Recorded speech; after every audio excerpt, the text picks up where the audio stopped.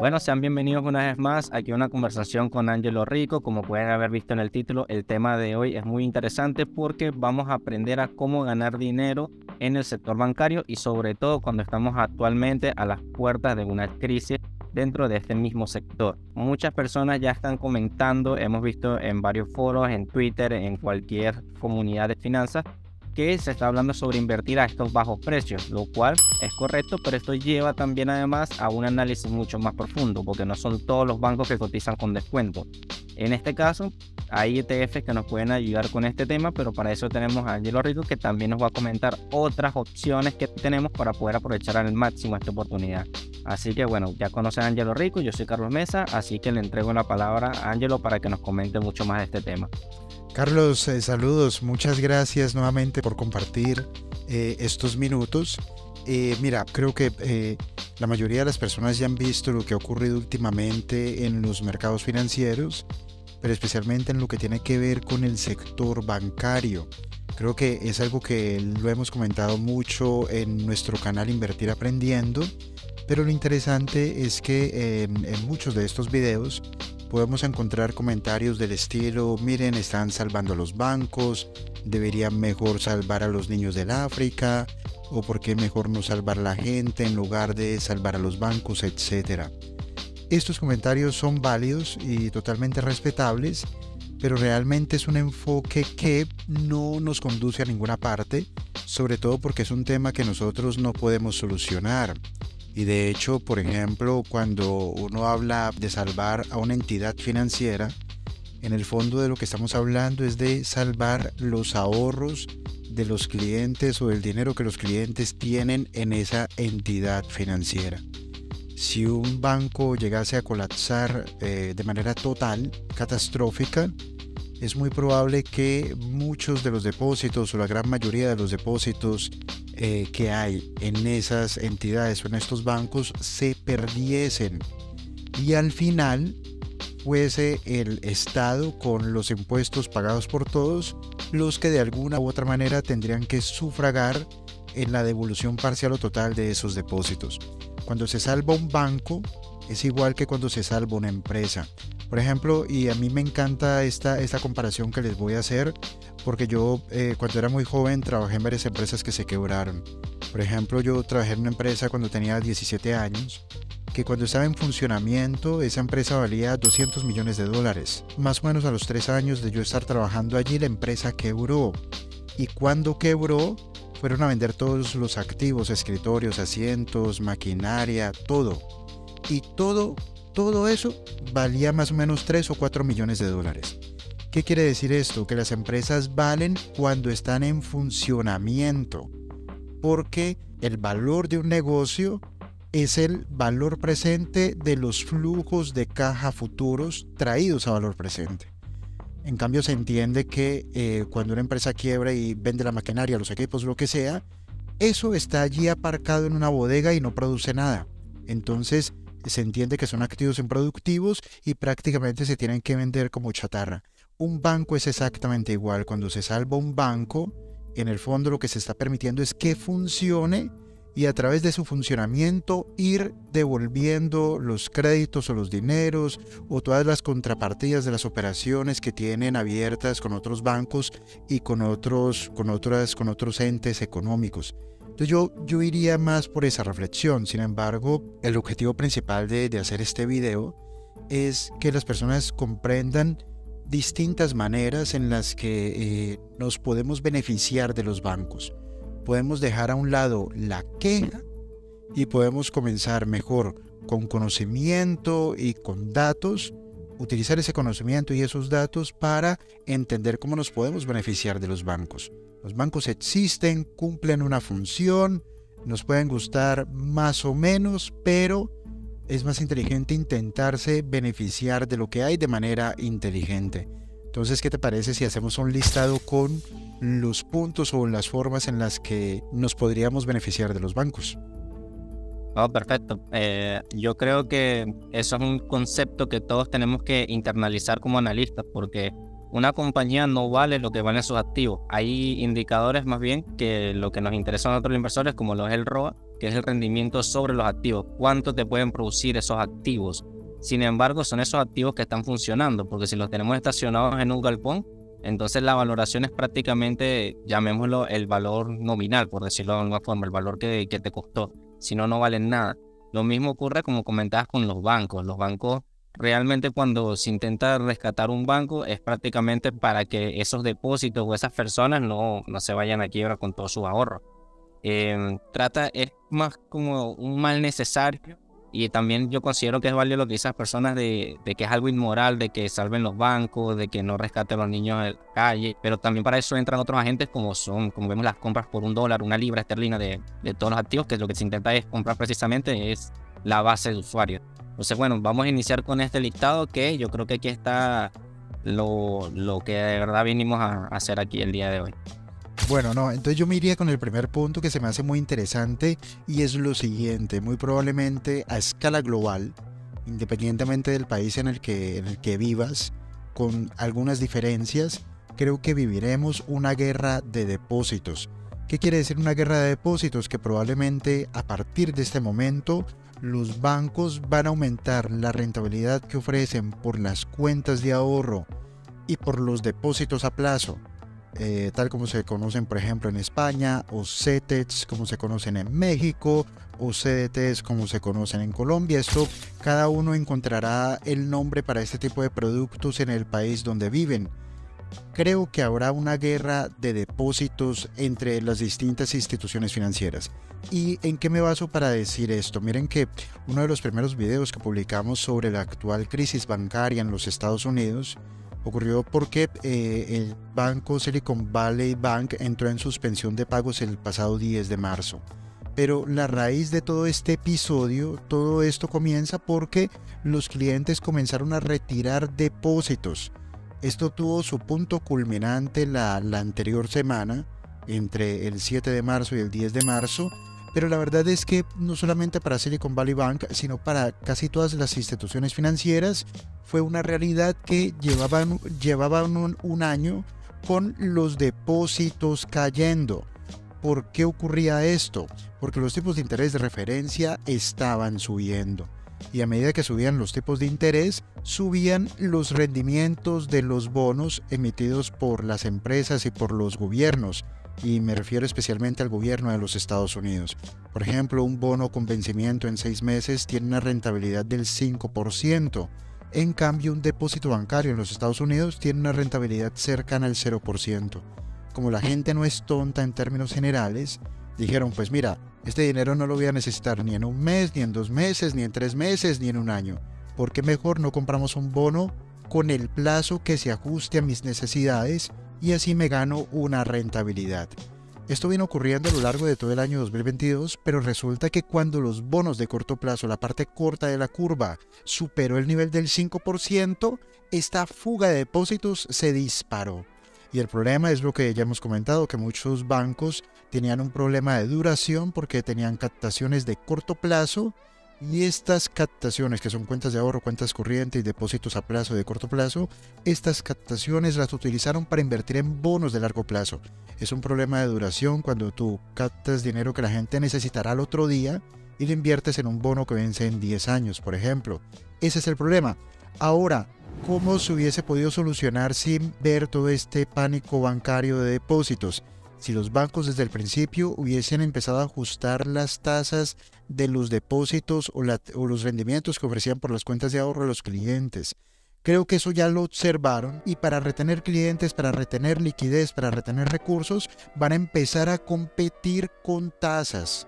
Y creo que si nosotros comenzamos a buscar entre instituciones financieras, podemos encontrar rendimientos eh, interesantes para el dinero que queremos tener a la vista, como cuentas de ahorro o cuentas corriente o depósitos. Creo que allí hay algo bien interesante.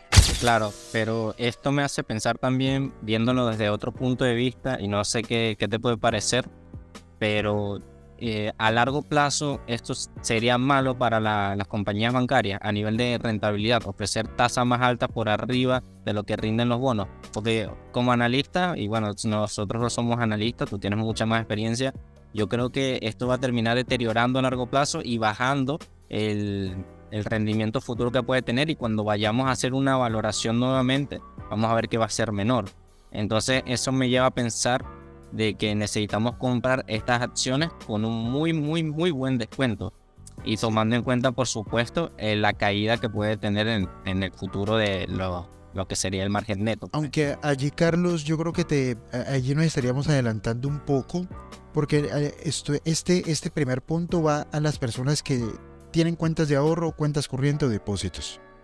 Claro. No tanto a los inversionistas en acciones, de momento, porque ese es un punto que llega más adelante pero de cara a los que les gusta la renta fija, los depósitos a plazo y todo esto, creo que habrá una, una, guerra de depósitos y allí habrán oportunidades. Yo mismo lo estoy intentando aprovechar. Yo tengo eh, renta fija de distintos plazos y a medida que la inflación ha ido aumentando y las tasas de interés han ido acelerando, como yo tengo vencimientos a un mes, a dos meses, a tres meses, a seis meses, a un año, a dos años, a tres años, cada renovación lo hago una tasa de interés superior. Renuevo a una tasa de interés superior, renuevo a una tasa. Entonces, claro, como tengo vencimientos todo el tiempo, voy renovando y la tasa de interés va subiendo. Y es muy, muy, muy interesante, eh, sobre todo para la gente que mantiene con liquidez y, y tiene el dinero aparcado en cuentas de ahorro sin hacer nada. Que lo sepa que si se, la, si se lo busca bien, podría encontrar buenos rendimientos si busca entre los distintos bancos.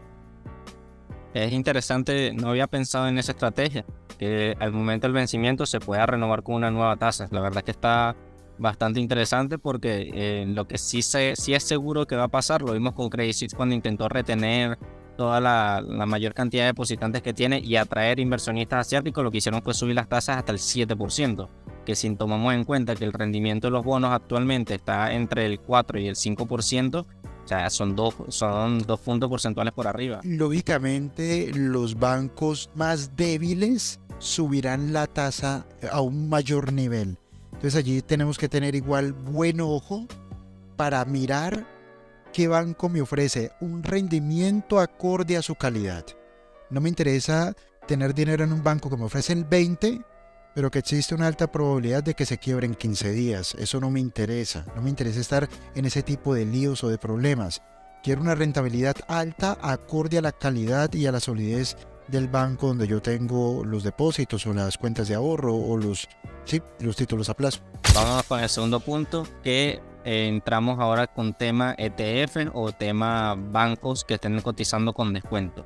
En este punto, ¿qué sería lo más importante observar?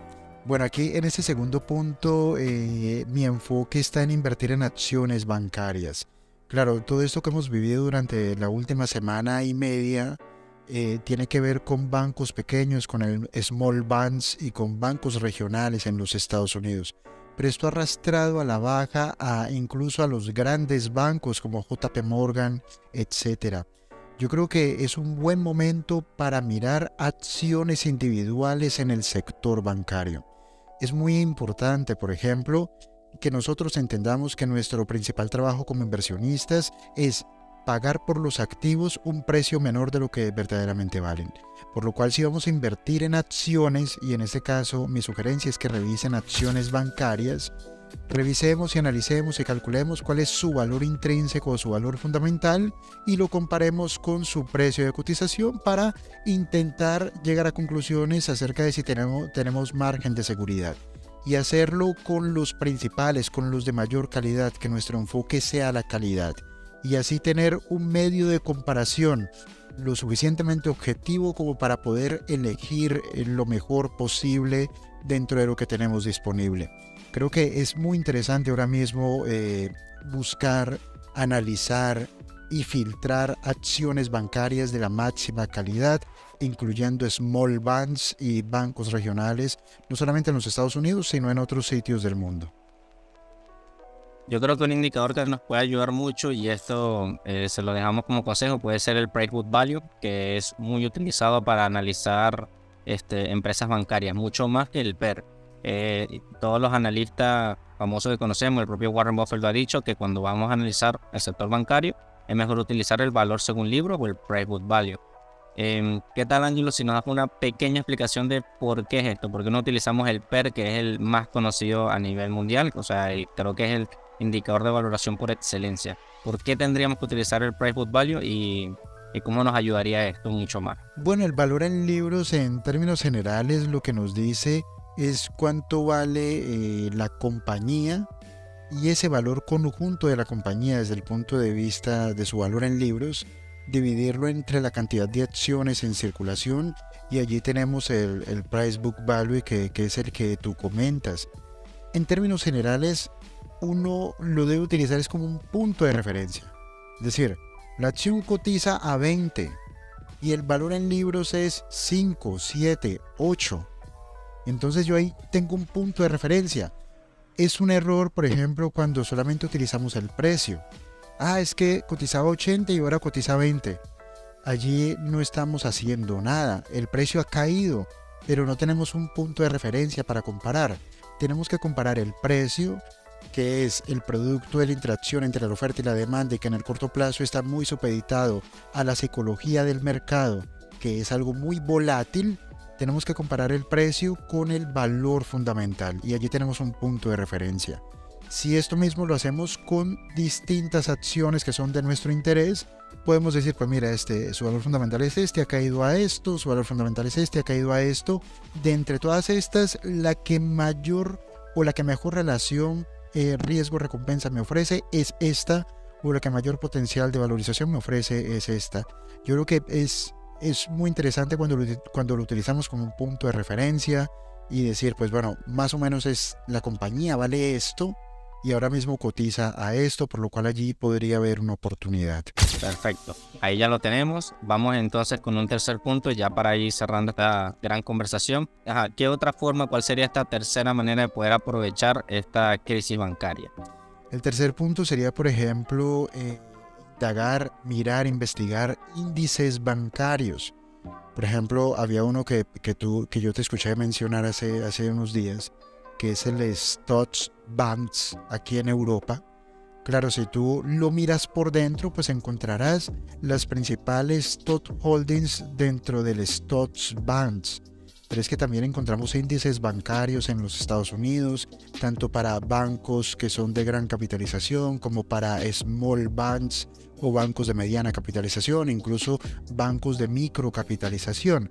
Pero mi sugerencia es miren índices bancarios. ¿Por qué? Y me explico. Por ejemplo, si nosotros apenas comenzamos en el mundo de las inversiones, tal vez elegir acciones individuales sea muy difícil y por lo tanto muy arriesgado para nosotros que apenas comenzamos.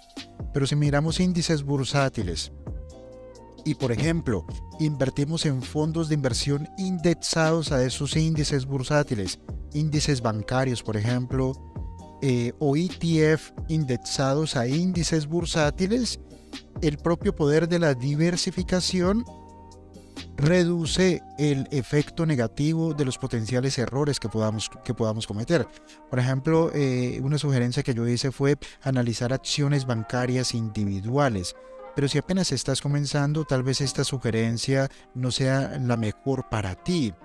En cambio, sí sería muy bueno que mirasen ETF bancarios o fondos de inversión eh, indexados a índices bancarios que eh, les permitirían, les ofrecerían diversificación y si algún banco quiebra, como solamente es un banco de entre, de entre un gran, una gran cantidad de bancos que hacen parte de ese índice, entonces el efecto negativo de esa quiebra pues no los perjudicará.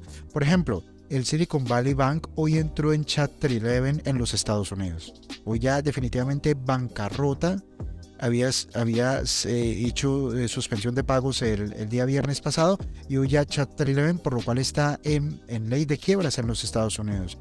¿Qué quiere decir esto? Que los accionistas, los que tenían acciones de Silicon Valley Bank, ya lo perdieron absolutamente todo y ahí, allí solamente se podrá rescatar lo de los depositantes. Entonces, para las personas sobre todo que apenas comienzan, fondos de inversión, y sobre todo para aprovechar la coyuntura enfocados en índices bancarios y en ETF enfocados en índices bancarios. ¿Vale? Y si quieres vamos al último punto.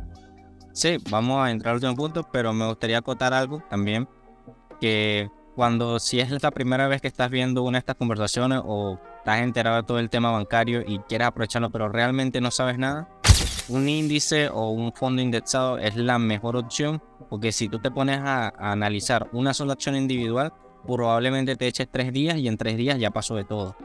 Entonces, yo, esta es la mejor forma de diversificar totalmente el riesgo, porque es como, dice, como dices tú, si quiebra un banco, entre los 200 en forma del índice, sería, supongamos que como máximo tengo un 2% de participación en el índice. Entonces no se ve tan golpeado el, el resultado. Entonces aquí todos los ETF bancarios de todo el mundo están cotizando con descuento. La gripe aquí se le pegó a todos, incluyendo en Latinoamérica, hasta aquí en Venezuela donde estoy, se está escuchando hablar de eso.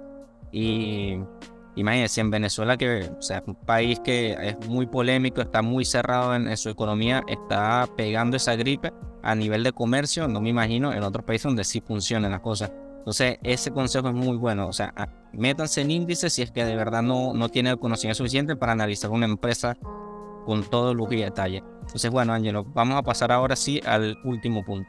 En ese punto que tocas de decir, yo solamente añadiría lo siguiente.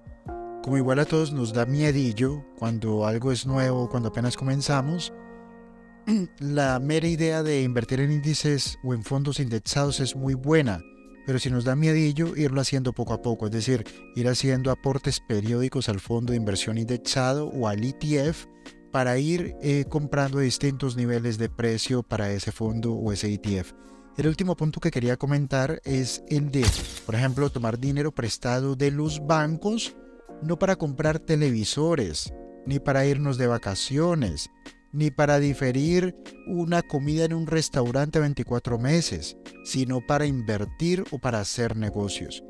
Tal vez este no es el mejor momento para tomar dinero prestado de los bancos porque los tipos de interés están muy altos, pero sí que es cierto que eh, cuando las cosas estén mucho más normales, lo que la gente rica hace es no utilizar su propio dinero, sino apalancarse con los bancos. ¿Por qué? Y me explico. Si los bancos se están prestando dinero al 5% y tú puedes hacer un negocio que rinde o tiene una TIR, una tasa interna de retorno del 10%, y lo tiene porque tú tienes la habilidad para desarrollar ese negocio o esa inversión, entonces claro, tomar dinero prestado al 5 para invertirlo al 10 es una buena idea, es una buena inversión porque estarías creando valor, pero es que además tú estarías ganando el 10 con el dinero de otro devuelves ese dinero, le pagas los intereses y te quedas con unos rendimientos sobre un dinero que no era tuyo. Entonces allí la rentabilidad es, muy interesante. Pero aquí, eh, vuelvo y lo repito, no es el mejor momento porque los tipos de interés están muy altos. El mejor momento ahora es utilizar nuestros ahorros y nuestra propia capacidad para aprovechar las oportunidades que se vayan presentando. Pero que lo sepamos que cuando las condiciones vuelvan a ser de tipos bajos, allí y sobre todo si nosotros tenemos la habilidad. No es que voy a tomar dinero prestado del banco para invertir en un restaurante, pero nunca he tenido un restaurante. No, es en algo que nosotros entendemos y comprendemos cómo funciona y por lo tanto podemos obtener esa rentabilidad. Si es así, tomar dinero prestado de los bancos es lo que hacen los ricos, sino que las personas eh, pobres y de clase media utilizan los bancos es para gastar, no para invertir. Bueno, ahí tenemos otro gran consejo.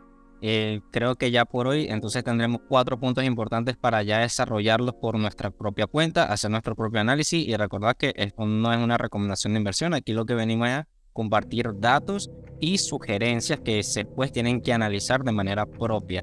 Eh, bueno, Ángelo, muchísimas gracias por tu tiempo. Eh, nos veríamos entonces en una siguiente conversación. Quizás pudiéramos también analizar el tema próximamente de ¿Qué va a pasar ahora con la Fed que están volviendo a imprimir dinero? Activaron nuevamente la maquinita y puede haber un posible repunte de la inflación. Pero esto ya quedaría para otro, otro video. Sí, está muy interesante ese tema. Lo último, lo último para finalizar es, eh, si tienen preguntas déjenlas en los comentarios, los estaré leyendo, intentaré responder las que pueda. Y también para los interesados vamos a hacer una masterclass para eh, explicar en lo mejor posible cómo analizar bancos para invertir, cuáles son los criterios clave que debemos tener en cuenta cuando analizamos una institución financiera, un banco, ya sea que simplemente seamos ahorradores y queremos queramos entender su salud financiera o que queramos comprar sus acciones para invertir. Si se quieren inscribir, aquí debajo vamos a dejar un enlace, pero las plazas son limitadas. Muchas gracias, Carlos, por esta conversación, por este tiempo. Muchas gracias a ti, Angelo. Entonces nos veremos en los siete videos y nos veremos en esa masterclass que no se pueden perder. Hasta pronto. Muchas gracias. Hasta la próxima.